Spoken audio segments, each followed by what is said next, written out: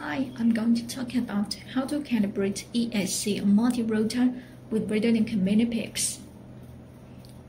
There may be some problems after arming, for example, motor doesn't work or the motor beeps too long. The problem was caused because the ESC is not calibrated successfully. I'll show the right way. Here we use Equinox Pro transmitter with R12DSM mini receiver. Before calibrating, let's check the transmitter. Make sure to choose multi-rotor in model type. And then basic media reverse, channel 3 throttle reverse. Return servo display, check if it reaches 100 up and down. If it cannot reach 100, you can calibrate the joystick of channel 3. Check the tutorial on joystick calibration in our YouTube channel.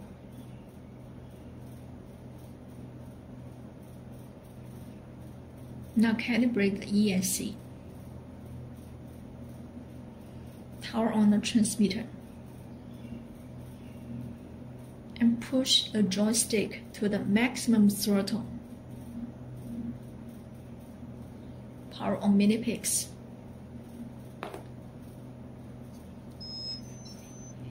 Check the LED indicator of mini Pix.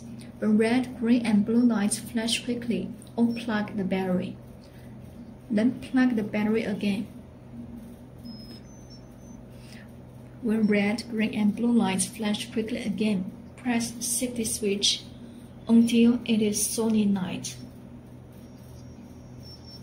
Then you can hear the beep sound from ESC, which means it enters the calibration mode.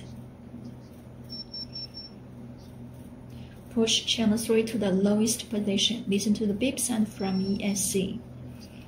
When you hear a long tone from ESC, the calibration is down. Push the joystick and we can see that motors work well now, which means ESC calibration is successful.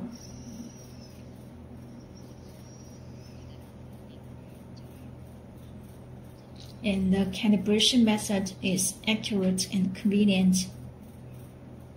It also applies to PIXHAWK, and that's all about how to calibrate ESC on multi-rotor with RadioLink mini Pix.